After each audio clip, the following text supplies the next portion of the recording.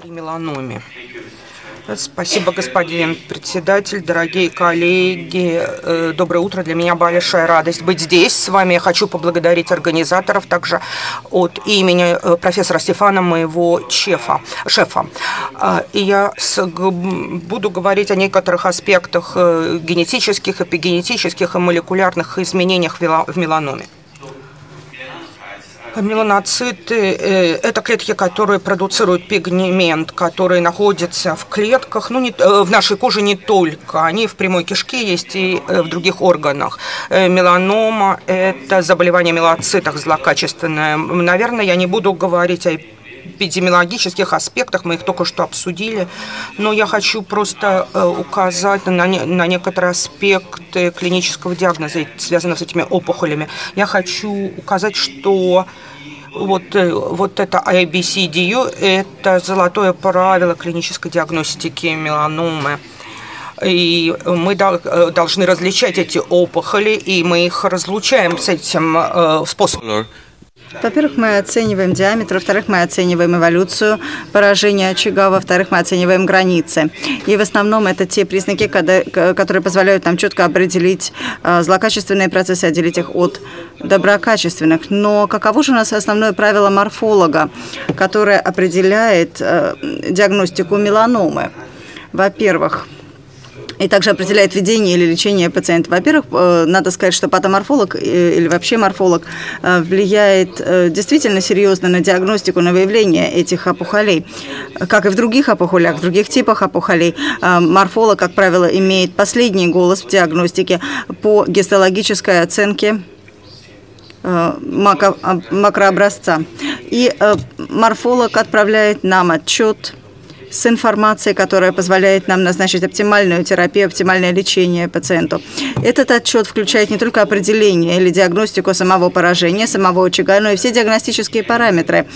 И это молекулярный профиль, который помогает онкологу затем э, лечить пациента и направлять его на наилучшую, на более оптимальную терапию. Морфологи также определяют би молекулярные биомаркеры в макрообразцах опухоли, потому что он прежде всего тот человек, который работает непосредственно с тканями. И в конце концов они направляют э, также на молекулярный анализ образцы для того, чтобы получить полную диагностику. Итак, в основном морфолог э, очень серьезно может быть как раз тем самым человеком, который лучше всего соотносит ткани, макрообразцы с молекулярными результатами. В гистологической диагностике меланомного рака мы имеем определенные критерии, которые как бы приводятся вот на этом списке. С точки зрения клинического диагноза, асимметрия является клиническим моментом для, также и для гистологической оценки этих опухолей. Но гистологические критерии сами по себе, они связаны с определенными проблемами, которые, э, конечно же, существуют. Очень многие критерии, которые мы сегодня видим, они э, имеют очень низкую чувствительность и специфичность. Гистологические критерии очень часто оцениваются по-разному, по разным, э, разными морфологами. И они, как правило, получа... мы получают информацию мы получаем от типичных случаев, но не от сложных случаев, которые, как правило, эм, для нас самые сложные для диагностики, как раз нам нужно определиться именно по ним. И очень часто часто у нас есть противоречивые критерии по одному и тому же образцу. Поэтому гистологические критерии для нас очень важны. И, безусловно, диагностика основывается именно на них. Но нам нужны определенные рекомендации, которые мы должны принимать во внимание. Мы должны использ... Они должны использоваться группами, и они должны применяться по специфическим гистотипам. Это означает, что если мы с вами вместе возьмем один то один критерий конкретно, да, кумулятивный критерий не может нам быть э, диагностически полезным.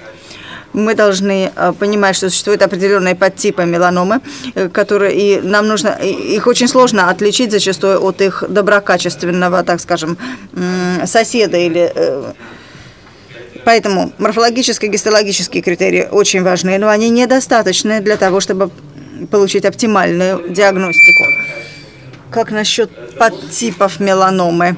Самый Главный подтип меланомы – это, как правило, э, такие э, поверхностное распределение. Э, это такое очень плоское новообразование ранних, на ранних фазах. У нас также может быть надулярная меланома, которая гораздо глубже прорастает в ткани, нежели чем поверхностная. Она гораздо темнее, и у нее гораздо более тяжелая и очень ранняя Э, развитие, и оно э, гораздо более быстрое. Э, иногда мы можем с вами говорить о злокачественном лентиго. Это, как правило, очень большое, очень плоское коричневого цвета новообразование. Затем у нас более яркие, более редкие, извините, новообразования. Это, например, вот такие акральные новообразования – и э, они, так скажем, периферические, очень большие. Как правило, на э, подошвах или на ладонях они образовываются, и они очень часто возникают у определенных этнических групп, таких как азиатское население или чернокожее население. Дисмопластические варианты очень редки. Среди других э, хорошо определяемых гистопологических вариантов меланомы, э, скорее всего, стоит указать некоторые, такие как э, мукозальная меланома, или акральная меланома. Это такого рода меланомы, которые могут возникнуть из э, ситуации, когда у нас из внутренних органов прорастает, то есть это не э, инсоляция, которая приводит к ним. Как я уже говорила, отчет морфолога должен включать в себя также Э, то, что является прогностическими параметрами, или то, что мы сегодня считаем прогностическими параметрами. Э, и прежде всего это длина или э, глубина, извините, или толщина опухолей по, по толщине Бреслоу. И это на самом деле как раз та самая Затем регрессия, фактор прорастания или фаза прорастания – это как раз то, что позволяет нам стратифицировать риски и имеет большую прогностическую ценность для дальнейшего ведения пациента. И надо сказать, что сегодня Единственный фактор, который действительно может влиять на выживаемость среди пациентов с меланомой, это стадирование заболевания, которое в основном от, э, основывается на распределении, на разрастании и прорастании в глубину этой опухоли. Давайте посмотрим вот на такую таблицу, которая была взята из исследования AGCC. Э, и это эпидемиологическое было исследование. Мы здесь видим очень хорошо, что э, выживаемость, цифры по выживаемости на глобальном уровне у пациентов с меланомой, они напрямую напрямую связаны со стадией заболевания. И здесь, э, так скажем, есть прямая взаимосвязь, но также есть определенные моменты, на которые я хотел бы указать вам, их видно в этой таблице. Э, есть вариабельность приблизительно есть 3%, извините, пациентов, которые э, не выживают 5 лет, то есть пятилетняя выживаемость, они не достигают ее, даже если у них э, первая стадия опухоли. И э, с другой стороны, есть 10%, которые, у которых выживаемость больше 10 лет, несмотря на то, что диагностирование уже происходит на четвертой стадии. И есть определенный процент выживаемости, который относится как бы к третьей стадии. Это резектабельные опухоли. И здесь у нас выживаемость выше, нежели чем выживаемость среди некоторых опухолей, э, э, где стадия всего лишь 2А. И причина этому до сих пор неизвестна. Скорее всего, это генетический профиль. Генетическая как бы, диагностика может нам помочь в объяснении вот этих непонятных совершенно явлений. И некоторые просто случаи, которые я э, вот вам хочу привести, это клинические случаи. Это э, пациент 31 год с очень толстым поражением, толстым, извините, с тонким, очень низкий индекс по Бреслоу. 18 месяцев у него выживаемость была после постановки диагноза. А вот это очень большая меланома у женщины 65 лет, и она, в общем-то, достаточно долго выжила, больше 10 лет у нее выживаемость, она, насколько я знаю, до сих пор жива после постановки диагноза. Иногда у нас действительно э, хорошие диагностические маркеры э, есть э, по результатам морфологии. Вот такие гистологические критерии, как я вам показывал до этого. Э, на самом деле много было обсуждений вот э, в этом случае было очень сложно определить, меланома это или нет, потому что действительно данный образец никаким образом не соответствовал никаким гистологическим критериям э, диагностики, которые мы обычно используем для диагностики меланомы. Вот это определенные случаи, клинические, где хороший генетический анализ, э, генетическое профилирование действительно поможет нам не только определить, сертифицировать риск, но и даже поставить диагноз. Итак, традиционно меланома диагностируется по морфологическим критериям, Э, как э, клинически, так и, морфологи, так и морфологически, э, и мы также можем определить тяжесть. Очень часто клиническое течение очень плохо соотносится с морфологическими результатами, и мы можем задать себе вопрос, геномика меланомы, может ли она дать нам более точный диагноз, и позволить индивидуализировать терапию для того, чтобы лучше стратифицировать риски среди меланомных пациентов. Э, большое на самом деле э, большой шаг вперед был сделан в последние годы. Прежде всего в понимании белону, мел, э, биологии меланоцитов. Прежде всего была изучена генетика, которая ведет к неопластической трансформации этих клеток. Вот Давайте посмотрим на основные аспекты э, биологии меланоцитов. Э, прежде всего, это э, выживаемость клеток, метаболизм, их жизнеспособность. Есть два сигнальных пути основных, которые показывают, которые показаны здесь. Это, это два пути, которые активируются после стимуляции разными факторами роста, такие как, такие как э, тромбоцитный фактор роста, и который активирует сигналинг, э, сигнальный каскад, который ведет, в свою очередь, к транскрипции генов и к стабильности протеинов. Самые основные из этих протеинов в конце этого каскада AKT, фосфориляция, ретинобластома, фосфориляция э, ретинобластома и стабилизация э, APT. В меланоме что происходит? Вот э, этот э, вот, вот этот путь, э, вот эти пути, они дисрегулируются, дисрегулируются множественными параметрами. И мы прекрасно знаем, э, что есть несколько мутаций, которые могут действительно влиять на эти процессы, которые в конечном итоге приводят к неопластической трансформации меланоцитов. И прежде всего, мы прекрасно с вами знаем, что есть э, вот такая мутация, которая, это мутация Germline, которая является мутацией в CDK и NG э, генах. Э, при помощи альтернативных промоутеров и транскрипции в разных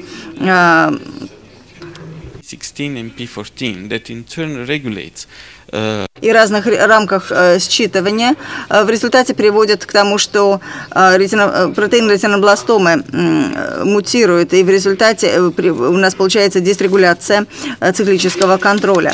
Итак, мутация в CDK4 в этом гене нарушает эм, клеточный цикл, контроль клеточного цикла и в результате мутация в больше чем одном гене Э, в результате приводит к модификации хроматина. И это все э, ассоциируется прежде всего с определенным э, типом меланомы, которая называется бабума, потому что это на самом деле то, что типически э, ассоциируется с мутацией, с, первым типом мутации, который э, я описал э, в, гене БАП, извините, один. На данный момент мы исследуем непосредственно эту мутацию, потому что она, как правило, возникает в пигментированных поражениях, в пигментированных очагах, и некоторые из них оказываются меланомами. Мы отправляем их, как правило, на генетическое тестирование, и, как правило, все они оказываются э, зависимыми, клонально зависимыми, и у всех у них есть мутация в гене БАП1. Это довольно редкая форма, но тем не менее она существует. И э, в результате мы должны понимать, что существует определенный вот такой специфический вариант, который ассоциируется с конкретной мутацией. И это может возникнуть действительно, это может возникнуть в вашей диагностической рутине. Существуют и другие гены, которые также э, в, ген, э, как бы в семейную, э, в наследственную меланому можно включить. Это определенные генетические, генетические мутации, которые известны, но есть и те, которые неизвестны. Нам еще многое предстоит изучить. Существуют определенные полиморфизмы, которые а, определяют предрасположенность к возникновению меланомы и особенно высоко э, полиморфичной э, мелано, э, в рецепте меланокартина. Это то, что очень серьезно связано с предрасположенностью к меланоме. Мелокартин, как правило, регулирует меланоциты, биологию меланоцитов. Это ген MITF. Э, сам по себе он амплифицируется в на самом деле по э, статистике в достаточно большом количестве случаев. И затем э, в литературных источниках было также описано большое количество полиморфизмов, которые связаны с меланомой – да, это полиморфизм Джемлайн, о котором я говорил. Ну, а как насчет соматической мутации в меланоме? А, меланома как фактически является а, она э, несет в себе самый высокий уровень мутации среди всех человеческих опухолей. Надо сказать, что меланомные опухоли, они обычно имеют очень большую генную нестабильность нестабильность генома. Есть э, еще одна, так скажем, черта э, меланомы с генетической точки зрения. Э, дело в том, что они несут в себе большое количество UV-сигнальных мутаций. В результате ультрафиолетовое облучение действительно приводит к, альтер... к отклонению в ДНК, и в результате это ведет вот к этим двум транзициям. Это C в, в C, C, T и GT. Это действительно то, что характерно для генов человека. Этот переход непосредственно в пассажирской так называемой мутации мы можем обнаружить. Это эпифеномен, некий эпи, эпи явление, которое Э, может э, привести к мутации при меланоме. И, безусловно, существуют и так называемые э, драйверные гены, которые также мутируют в 46%. В результате гены могут действительно, генные мутации могут привести к неопластической трансформации. P53 также содержит большое количество мутаций, связанных с ультрафиолетовым спектром, и P16 точно так же относится к ультрафиолетовым, к мутациям, связанным с ультрафиолетом, на около 60% основных драйверов при меланоме они непосредственно э, находятся в транзиции, или, или происходит из-за транзиции C, to, C в T и G в T. И есть определенные э, транзиции, переходы, которые действительно ассоциируются вот с этими мутациями в IDH1, например. Мы уже слышали до этого, и мы знаем прекрасно, что меланома а – это э, опухоль, которая связана с ультрафиолетовым спектром. По этим данным, как вы видите, мы можем задать себе вот такой вопрос. Можем ли мы на самом деле задать э, себе этот вопрос? И действительно ли это опухоль, связанная только с ультрафиолетовым излучением? Я задаю этот вопрос именно потому, что я уже говорил, только 46% Э, драйверных генов, они действительно имеют в себе э, э, подпись, которая ассоциируется с ультрафиолетовым спектром. Меланома может возникнуть без какой-либо экспозиции ультрафиолетового излучения. И самая частая мутация, которая может быть обнаружена в меланомном раке, это МАК, МАП киназа, путь МАК киназы. И это мутация RAF также, э, которая э, у нас присутствует приблизительно в 50%, а затем NRAS, мутация в гене. Э, это тоже приблизительно 15-20% всех меланом. CK-мутация, GNA-мутация в этих генах является тоже типично ассоциируемой с определенным типом меланомы. Они на самом деле не являются харбером а, подписи, но тем не менее, несмотря на это, мы должны принимать во внимание, что даже если меланома или большинство опухолей не содержат обычные генетические э, подписи, связанные с, ультрафиолетов, с ультрафиолетовым э, спектром, тем не менее мы должны принимать во внимание, потому что ультрафиолетовое э, излучение плюс определенная э, мутация может быть э, повышенным фактором риска, это может быть определенная про э, мутации. Некоторые из этих мутаций в некоторых случаях они присутствуют а, одновременно с другими э, мутациями в других генах, другого типа мутациями, которые при этом имеют подписи, связанные с ультрафиолетовым спектром. Соответственно, это истинная правда, что самые частые мутации э, при меланоме, они не ассоциируются с ультрафиолетовым излучением, но эффект ультрафиолета, тем не менее, можно объяснить э, другими способами. Это не прямая подпись, может быть. Что можно сказать о метастатических э, фенотипах таких меланомах? Э, она нестабильна меланома изначально генетически, и она несет такой высокий уровень мутаций, который трудно представить. Вы можете себе представить, что происходит при метастатической меланоме. Очень трудно генетические сигнатуры найти в случае метастазирования метастатической. Мы пытались э, увидеть все, что есть в литературе. Есть гены, которые считаются связанными с мутациями, и Терт, например. Некоторые авторы э, говорят о сниженности экспрессии BCL2 э, типичной для метастической меланоме, или наоборот, повышенная экспрессия других генов, таких как MCL1, BCLXL, например. Но на самом деле все на самом деле гораздо сложнее. сложнее. Э, метастатическая меланома – это действительно очень важный предмет, э, э, который нужно учитывать при ведении пациентов в клинических условиях, потому что стратегии могут быть неэффективными, они часто бывают неэффективными. Если мы думаем о хирургии, это может и метастатической меланоме, это может принести успех, но все зависит от, от количества таких сайтов метастатических. Интерлейкин-2 также влияет на э, ответ, и э, на самом деле полный ответ при высоких э, уровнях и до дозах э, дает э, полный ответ в пациентах в 50% случаев.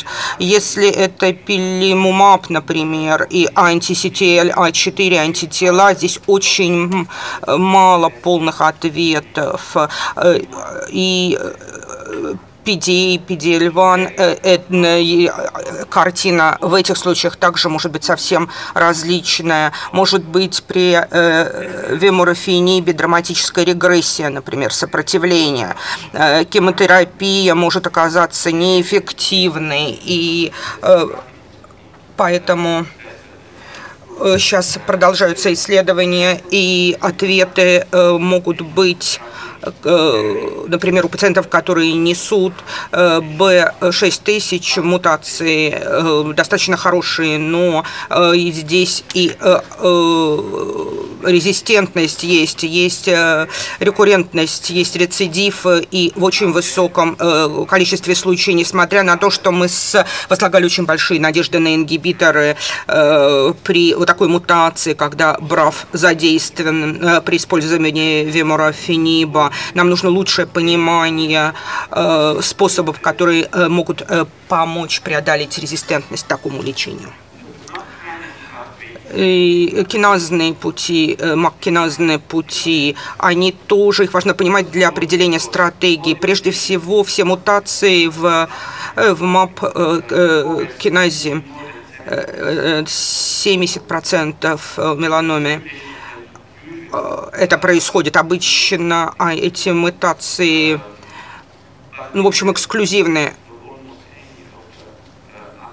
у нас э, есть подходы ко всем, так сказать, акторам, действователям. По крайней мере, мы начинаем некоторые из них понимать уже больше. И мы надеемся, что мы сможем использовать наши знания э, вот этих путей, этих каскадов для лучшего лечения. И, э, и как я сказала, мутации в БРАФ крайне важны. Это очень часто это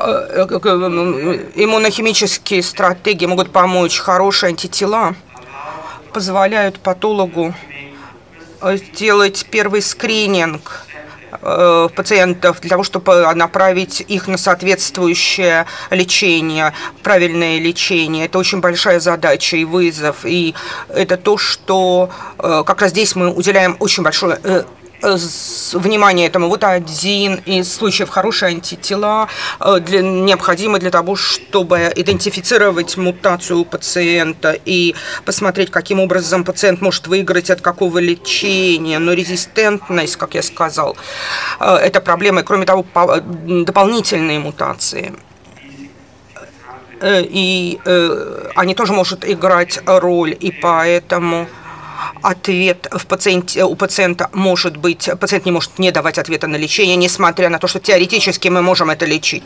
Что касается эпигенетических сигнатур, э, хочу вам посмотреть, показать эту таблицу, чтобы вы увидели, насколько недавно были сделаны прорывы в этом поле. И огромное количество генов было обозначено, которые были э, гипер, э, они, они могут быть при меланоме гиперметилированные и наоборот гипометилированными. Э, и кроме того, есть еще и другие гипер, эпигенетические механизмы, например, макроRNA, РНК, то есть как картина очень сложная с эпигенетической точки зрения в конце концов, и она нам помогает, может понять, понять, по крайней мере, определить некоторые лекарственные средства, которые можно исследовать в клинических исследованиях. Э, ингибиторы э, э, о которых я говорил, например, которые должны дальше тестироваться в контексте клинических исследований, например, ингибиторы БРАФ и так далее, мутировано. Нам, имеется с такими опухолями, мы должны понимать, что нам необходим банк э, данных э, по опухоли, опухолевый банк данных. И для того, чтобы охарактеризовать опухоль, нам нужно какие-то иметь в банке для того, чтобы можно было к ним обращаться и проводить анализ. Это было бы достаточно просто, если бы мы а, анализировали метастатическую мираному, большое повреждение. Это связано с большим материалом, который помогает поставить диагноз и сохранить что-то для генетических исследований. Но это не всегда так. И очень, не всегда возможно, очень трудно, когда речь идет о небольших повреждениях. Один из вызовов таких для патолога э, в наши дни и в будущем это будет, это э, извлечь как можно больше, больше из наименьше эм, э, гистохимия, химия, генетическое тестирование, определение. Иногда нам приходится работать с очень маленькими кусочками ткани, результаты биопсии, и это очень трудно, когда мы хотим профиль сделать опухоли, молекулярный профиль. Мы пока не можем и не говорим о клеточных линиях, о таких сценариях. РНК тоже важно. Э, и э, эта тема для исследований скорее, наверное, сейчас больше, чем та тема, которая может э, что-то внести в стратегии. Мы должны работать со свежими замороженными опухолями. И, и это такой источник. Если мы говорим об источнике, это, конечно, парафини, зафиксированные сейчас. И мы говорим все больше и больше о генетическом профилировании опухоли, которые нам необходимы. И дело в том, что формалин на самом деле, если фиксация идет, то это проблема. Мы знаем эту проблему, мы знаем, что эм, мы не см... и сейчас от него уходят патологические э, лаборатории патологов все больше и больше в Европе. Мы э, сейчас хотим стандартизировать, стандартизировать протоколы для иммунохимии, для других задач э, в Европе, и мы движемся в этом направлении направлении. В будущем правительство, наверное, должен быть, должны будут э, прислушаться к нам, и, наверное, они заставят нас поменять даже протоколы э, от, от наших основ. То, что не всегда пока сделано, это один из вызовов, которые нам нужно столкнуться. Если мы говорим о новых методах исследования, нужно менять методы обращения с образцами. Итак. Эм, э, мы зависим от микроскопа, когда мы работаем с меланомом, клинические данные по ценным определение морфологии э, на, основе гистологических критериев, которые я вам показывал э, уже, но не всегда э, э, одинаковую картину видит разные патологии. Э, но скорее это характерно для прошлого. Сегодня мы ставим диагноз всегда принимая во внимание наши гистологические критерии, которые, наверное, так и останутся с нами дольше, чем мы думаем, мы будем, будем, а, думаю, будем ими пользоваться. Клиник, клинические данные, морфологии, также иммунохимия и другие. И мы начинаем молекулярное профилирование проводить, чтобы определить тип повреждений и стратифицировать риски. Каково будущее наше? Мы надеемся, что многие другие подходы позволят нам, которые развиваются и оттачиваются, разработать более э, надежную диагностику, которая позволит нам предоставить пациенту наилучшее для него лечение. Э, моя группа написала вот эту работу, это обзор, который вышел не так давно, и э, на самом деле за последние годы даже много изменилось, все очень быстро развивается. И э, мы постоянно работаем с литературой, и мы все должны делать это, но каждый месяц что-то новое публикуется. Поэтому будущие вызовы. Э, что мы ожидаем от будущего? Мы Э, понимаем, что морфологическая классификация связана с большой фрагментацией, э, объединение генетических сигнатур. Это может облегчить нам э, картину. Вот это один из вызовов, который перед нами стоит. Также Э, понимаем, что нужно э, лучше знать и определять драйверные мутации, пассажирские, пассивные, так сказать, и какие гены самую важную роль э, играют в развитии и прогрессировании этой опухоли. В данный момент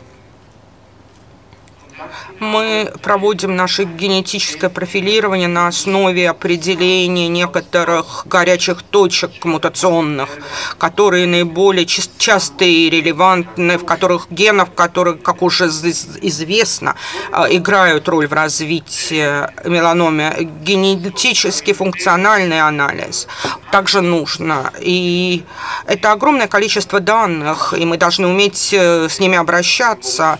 И мы думаем, что скоро э, э, очень много нового произойдет в наших лабораториях. И, но по-прежнему, к сожалению, Э, мы как бы заведены на лабораторию, заточены на лабораторию. Э, сейчас, и э, э, нужно будет потом в клиническую практику перевести все эти э, знания на уровень рутинной диагностики. Я бы хотел поблагодарить мою группу, доктор Москович, эксперт-патолог, молодой, Даниэла, молодой патолог, и Э, это вот лаборатории, глава нашей лаборатории, и, конечно, профессор Стефана и э, профессор Де Роза. Спасибо вам за внимание.